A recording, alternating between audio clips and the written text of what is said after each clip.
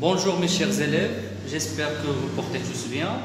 Euh, Aujourd'hui nous avons une séance de mathématiques et, une nouvelle, et nous avons une nouvelle leçon, mesure de longueur, de masse et des aires.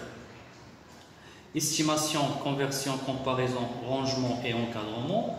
Et dans cette leçon, vous allez apprendre à convertir les unités de mesure de masse, de longueur et d'air, et aussi comparer, ranger et encadrer des mesures de longueur, de masse et d'air. Commençons par le tableau de conversion des longueurs, des ou bien les unités de longueur. Nous avons l'unité de référence, de référence, c'est le mètre.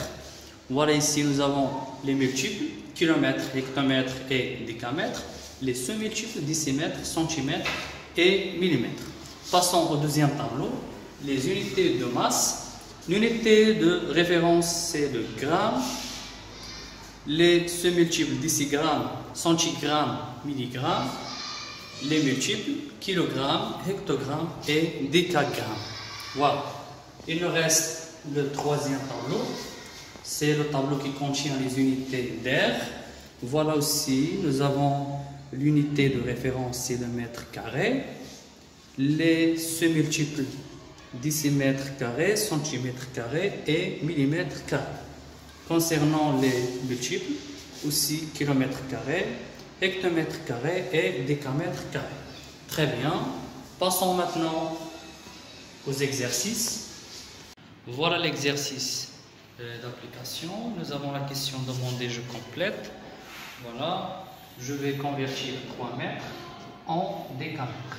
Mais la première chose qu'il va falloir que je fasse, c'est repérer l'unité que, que l'on me donne à la base. Voilà, j'ai le mètre. Ici, bien le chiffre des unités, c'est 3.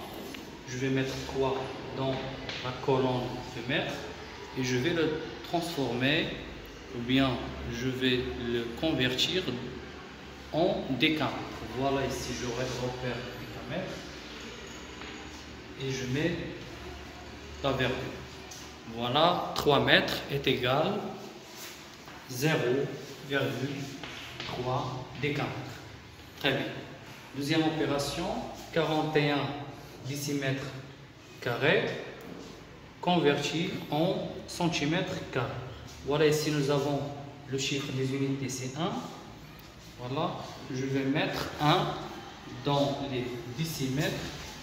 Voilà ici, 1, 4, converti en centimètres carrés. Voilà centimètres, je rajoute 2, 0. Voilà, 41 décimètres carrés est égal à 4100 cm carrés. Il nous reste 534 décigrammes convertis en grammes. Très bien. L'unité ou bien le chiffre des unités c'est 4. Je vais mettre 4 dans la colonne euh, des décigrammes dans le tableau. Très bien. 4, 3, 5 convertir mon gramme, voilà. Je vais mettre la virgule. Alors, 534 décigrammes est égal 53,4. Et il y a une autre règle à retenir dans un tableau de conversion, c'est l'interdiction absolue euh, d'écrire deux chiffres dans une case, un seul chiffre par case.